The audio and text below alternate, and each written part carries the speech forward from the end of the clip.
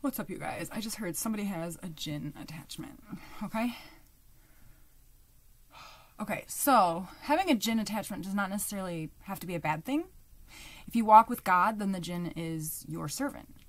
Um, but if you do not walk with God, so to speak, um, Allah, the Most High, if you are not in alignment with the greater good of humankind and of all, um, then you are more susceptible to becoming its servant, so to speak, slave, servant, not even, but yeah, in a way you can become a servant, not you, okay?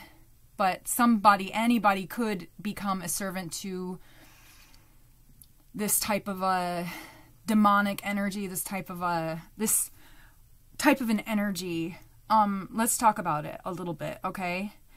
Um I don't think that I'm fully prepared to dive into this completely, but I can just kind of do like maybe some like bullet points. Okay, so uh, some ways that you can identify having a jinn in your, or this could also be somebody close to you had a jinn attachment, or something like that. And um, it's weird because I'm feeling like whoever you are, there was somebody next near you who had a jinn attachment, but it's like whoever you are, you may have also like conjured up like a jinn from your past.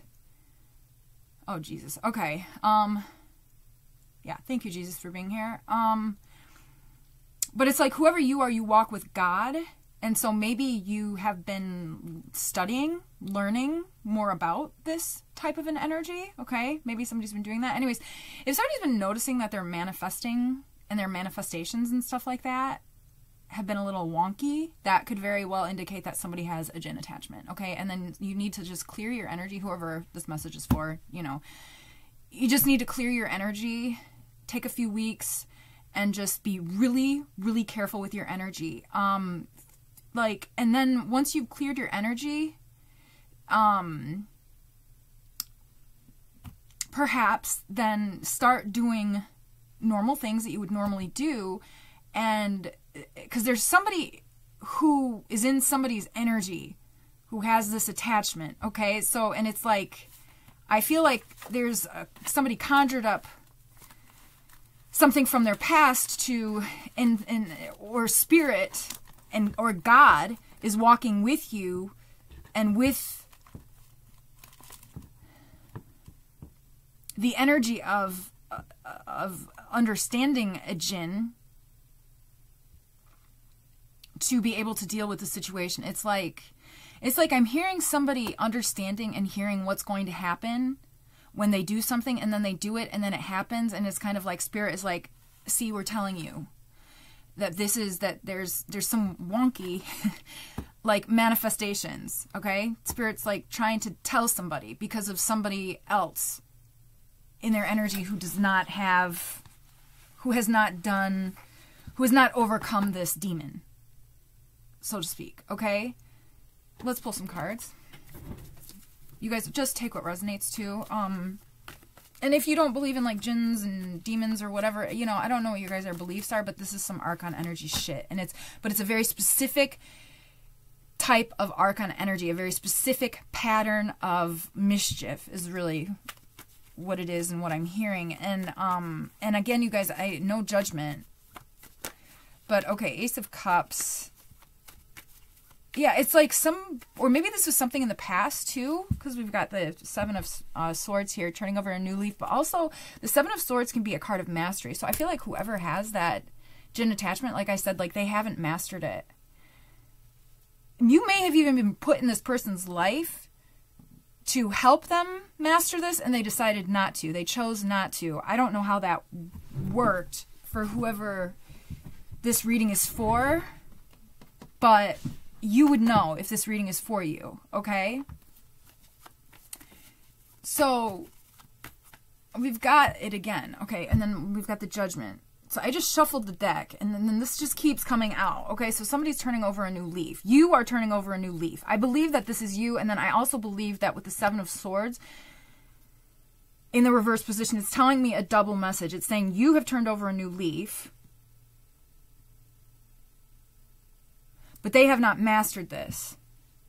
Somebody has not mastered what you've mastered. Okay, what the hell is the message? Spirit answers. What was the original message that I even heard now? Spirit, what was it?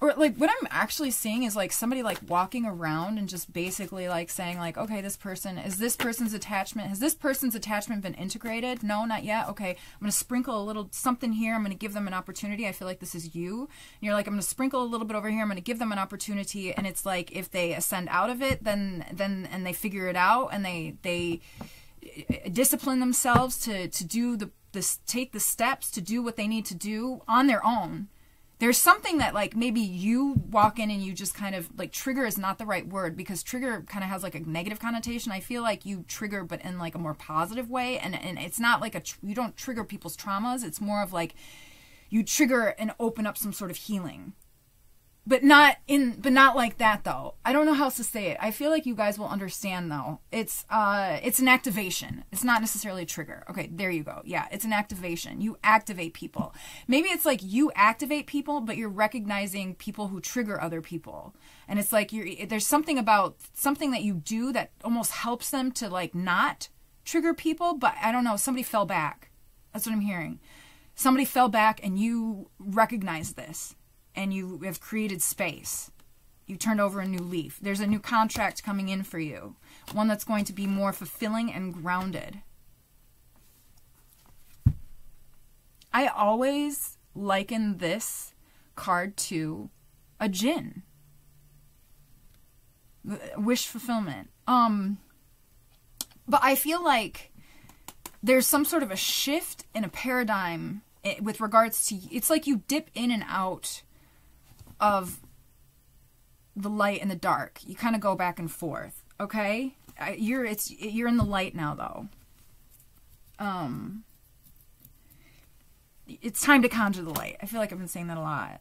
Um, somebody needs to get outside more and or somebody needs to self-regulate or focus on self-regulating whoever you are i feel like you're very self-aware the intention was to make you not feel like you were self-aware and or to get somebody so emotionally discombobulated that they I, there's almost like this energy of desperation too that somebody wanted somebody to be in that a karmic energy wanted you to be in if this reading is for you an energy of desperation so that you would not be very um so you would not be you would be wishing for the wrong things so to speak okay and you would not be you would not recognize. There's something else about some oh god. Okay now I'm, I'm there's something else about somebody's karma and this jinn wanting to make whoever you are if this reading is for you feel like you were receiving karma that they were receiving. But that karma is not your karma. It, this is fucked up and, and then it's like God was kind of like, okay, look, this is this, and then I don't know, God opened up. Maybe somebody had a dream, or maybe somebody's just been receiving downloads, and you might not even know that you're dealing with this particular energy. But the but the but like I said, if you've been noticing that your manifestations have been a little wonky and like literally like like a manifestation that happens at the expense of somebody else would be the product of wishing and having a jinn attachment and and having that jinn fulfill that for you essentially. And if you do have a jinn attachment you would they they would be talking to you. They would talk to you and you would say yeah you would have to confirm yes that's exactly what i want. Like it's fucked up. I know. But um but like whereas like it's like with the most high if you're trying to manifest you just so it's like if you with the most high you're just trying to manifest and you you know you just you kind of just put it out there and you release it right? So somebody was trying to put somebody in some sort of like a, a desperate energy so that they wouldn't be able to just sit like conjure the light see where they're supposed to go from god sit in that energy for a little while release and then that manifest itself. So somebody wanted to get you in this energy of desperation so that you could not do that okay? But it did not work. Did not work okay I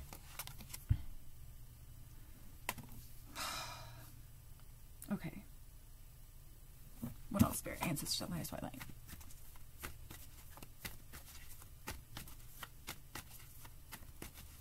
it's it's almost like I'm seeing like I'm almost seeing like you judgment again. It's God, okay? It's I'm almost seeing like somebody. It's almost like God didn't make you as like didn't make you look as strong as you are for a particular situation. And it's almost like it, what i'm seeing is like somebody like i'm seeing like little red riding hoods. This this is a really weird analogy but it's like little red riding hood and then like the the wolf like comes up to her and tries to eat her but behind you is like a pack of like bigger wolves like big big big wolves. Like i don't it's like but i'm seeing somebody like pull it out of the pocket. You know what i mean? And it's kind of like god is like here put this in your pocket put this in your back put this power and this energy in your back pocket just for a little while. We're gonna we're gonna peep out this situation but i'm gonna let you pull this back out of your back pocket when the timing is right. And that's what happened okay? Okay i got goosebumps. That's what's up. Yeah okay i'm gonna leave it there 11 11 on the clock. All right. I'm sending you guys so much love. Thanks so much for being here. Until next time. Don't forget to like and subscribe. Okay. Bye.